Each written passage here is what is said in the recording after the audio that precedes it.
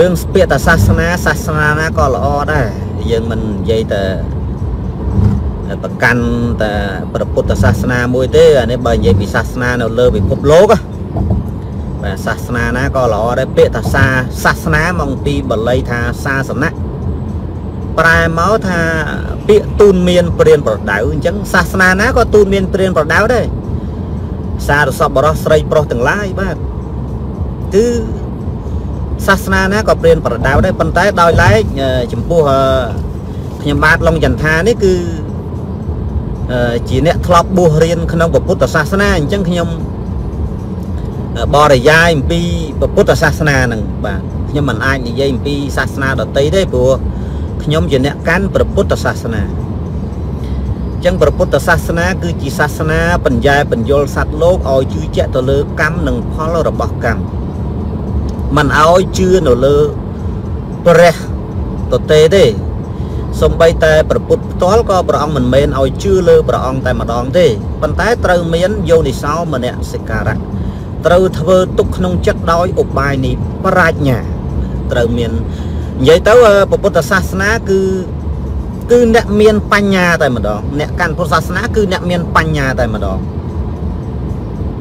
ញាតិញោមពុទ្ធបរិស័ទបាទ អ្នកកាន់ព្រះពុទ្ធសាសនា គឺជាអ្នកមានបញ្ញាច្បាស់តែម្ដងបើអ្នកគ្មានបញ្ញាអាហ្នឹងគេហៅថាអ្នកកាន់ព្រះពុទ្ធសាសនាផ្លอมផ្លอมហ្នឹងបានន័យថាវាមិនមិនម៉ត់ចត់មិនពេញលេញបាទដោយអ្នកកាន់ពុទ្ធសាសនាផ្លอมអ្នកកាន់អ្នកអ្នកកាន់ផ្លอมមិន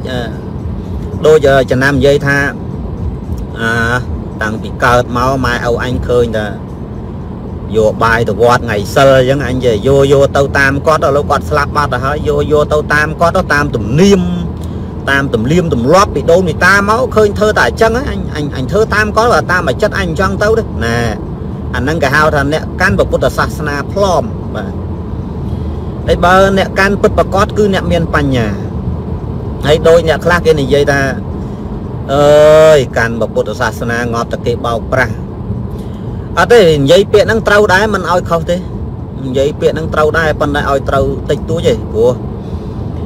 មកពីអ្នកដែលគេបោកបានហ្នឹងមកពីអ្នកហ្នឹងវាអត់ច្បាស់អ្នកហ្នឹងនៅល្ងង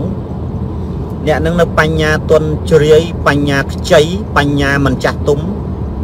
អញ្ចឹងបានជាគេបោកបានអាហ្នឹងនិយាយពាក្យហ្នឹងឯកភាពដែរក៏ប៉ុន្តែបើសិនជាបុគ្គលនឹងអ្នកកាន់ពុទ្ធសាសនាចំគឺជាអ្នកចេះដឹងជាអ្នកយល់ច្បាស់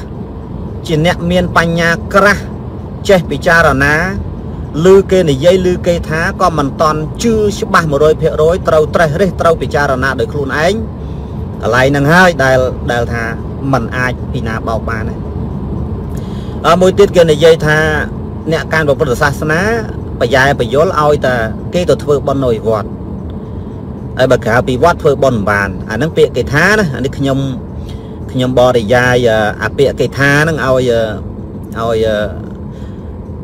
ពុទ្ធសាសនិកជនដែលជាអ្នកស្រឡាញ់គោរពរាប់អានពុទ្ធសាសនាហ្នឹងបានជ្រាបបានដឹងបាទត្បិតថាខ្ញុំខ្ញុំបាទនេះគឺសឹកបានមួយខួបហើយបាទសឹកបានមួយខួបហើយថ្ងៃនេះថ្ងៃ14ម្សិលមិញបាទម្សិលមិញខ្ញុំសឹកបានមួយខួបហើយមួយឆ្នាំពេញបាទខ្ញុំសឹកថ្ងៃទី13ខែ10 ឥឡូវដល់ថ្ងៃទី14លើសមួយថ្ងៃហើយបាទលើសមួយថ្ងៃហើយចឹងទេខ្ញុំចង់បរិយាយរៀបរាប់អំពីធោអាខ្លះដើម្បីបានជាកតិដល់លោកយាយលោកតាក៏ដូចជាញាតិញោមដែលតែងតែនិយាយរលឹកនឹករឿយរឿយតាំងពីលោកប្អូនសឹកមកលេងបានស្ដាប់ធัวថ្មីឥឡូវពុកនិយាយនេះនិយាយធัวថ្មីហ្នឹងបាទនិយាយធัวថ្មី ព្រោះខ្ញុំមិនចង់និយាយទេធោអាព្រោះយើងវាទេឆ្អែតឆ្អន់ហើយឥឡូវនិយាយតិចតិចបាទកំដរខ្លួនឯងផងពេលដែលបើកឡានកណ្ដាលរាត្រីបាទអញ្ចឹងខ្ញុំចង់បញ្ជាក់បន្ថែមការងារដែលខ្ញុំត្រូវនិយាយហ្នឹងបាទចង់បញ្ជាក់បន្ថែមបាទចង់បញ្ជាក់បន្ថែមហ្នឹងចង់និយាយថាបើសិនជាអ្នកនឹងមានបញ្ញាច្បាស់លាស់ពិតប្រាកដអត់មាន ពីណាបោកបានទេជឿខ្ញុំចុះហើយមួយទៀតគេនិយាយថាអ្នកកាន់ពុទ្ធសាសនាអឺសាសនាព្រះពុទ្ធអ្នកខ្លះបញ្ញាបយលឲ្យតែធ្វើបុណ្យនៅវត្តហើយខុសពីវត្តហ្នឹងពិបាកធ្វើបុណ្យតែមែនទេបើយើងសិក្សាក៏ដូចជាយើងត្រេះរិះយើងពិចារណាយើងបានរៀនសូត្រធម៌អាអីច្បាស់លាស់ខ្លួនយើងក្តាស់ខ្លះមកឲ្យស្ដាប់លោកអ្នកប្រាជ្ញអី បណ្ឌិតអីសំដែងធោអាអីតាមប៉ុនតាម YouTube តាម page Facebook អីហ្នឹងក៏យើងមិនត្រូវជឿ100%ដែរយើងត្រូវពិចារណាទៀតបាទតាមពិតការធ្វើបន់ការធ្វើទានមិនចំពោះតែទៅវត្តទេទៅវត្តហ្នឹងគឺជាទំនៀមទម្លាប់មួយផងមួយទៀតដើម្បីអនុគ្រោះដល់ភិក្ខុសង្ឃដែលជាអ្នកត្រួតត្រងព្រះពុទ្ធសាសនាដែលលោកខំបួសត្រួតត្រងព្រះពុទ្ធសាសនានោះព្រោះ បកល4ពួកដែលធ្វើឲ្យសាសនារឹងមាំហ្នឹងថិតថេរជារកាលមាន4មានភិក្ខុសាមណេរឧបាសកបាសិកាអញ្ចឹងដែលយើងខំយកចង្ហាន់យកបាយអីថ្ងៃសិលអីទៅវត្តហ្នឹងគឺម្យ៉ាងគឺដើម្បីឧទ្ទិសជូនចំពោះបេតជនបើជនជាញាតរបស់យើងដែលបានបាក់បែកចែកឋានទៅកាន់បរៈលោកហើយនោះអានឹងមួយមួយទៀតដើម្បីអនុគ្រោះដល់ភិក្ខុសង្ឃដែលលោកបួស ត្រួតត្រងពុទ្ធសាសនាដែលលោកខំចាំភាសានៅវត្តនោះនឹងយើងអនុគ្រោះដល់ដល់លោកដល់ផ្លូវអង្គសោមញាតញោមបាទដល់នេះបត់ហើយបត់ចូលទៅខេត្តតកែវបាទចឹងគឺយើងដើម្បីអនុគ្រោះនឹងបាទអនុគ្រោះដល់ភិក្ខុសង្ឃដែលអឺលោកបានបួសនៅក្នុងវត្តនោះហើយដែលលោកជាអ្នកត្រួតត្រងតំណាងឲ្យព្រះសម្មាសម្ពុទ្ធ បាទហ្នឹងអញ្ចឹងទេអីបើយើងធ្វើបន់ក្រៅវត្តយើងធ្វើបានតាបន់បានច្រើនបន់ធ្វើក្រៅវត្តធ្វើធ្វើបន់បន់បានច្រើនបានច្រើនជាងជាមួយធ្វើជាមួយលោកទៀតនោះជាមួយអ្នកបួសទៀតបន់ជាមួយវិណាបន់ក្រៅវត្តបន់ជាមួយឪពុកបន់ជាមួយម្ដាយជាមួយឪពុកជាមួយម្ដាយហ្នឹងបន់ខ្លាំងហ្មងបន់ខ្លាំងមែនទែនខ្លាំងហ៎ ហើយប៉ុនមួយយ៉ាងទៀតគឺយើងធ្វើជាមួយលោកយាយលោកតាដែលជាអ្នកមានសិលដែលគាត់ចាស់ជរាយើងកុំគិតថាគាត់ជា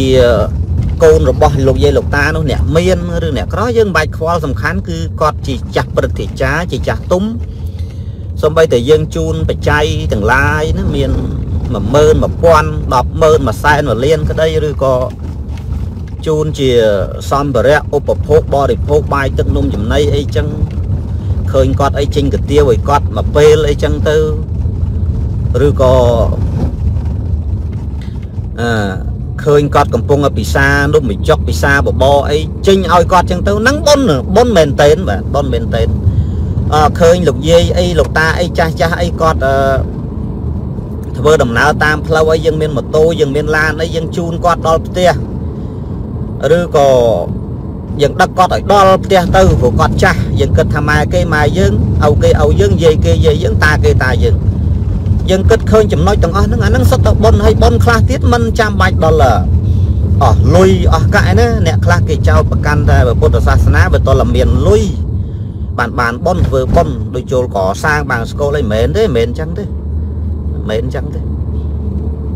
ដល់ពេលយើងជឿជាក់យើងយល់ច្បាស់អំពីធម៌អារបស់ព្រះសម្មាសម្ពុទ្ធហើយបុណ្យមិនចាំបាច់ដល់អស់លុយណាបើនិយាយបើនិយាយឲ្យវាខ្លីបុណ្យចេញមកពីចិត្តទៅវិញទេ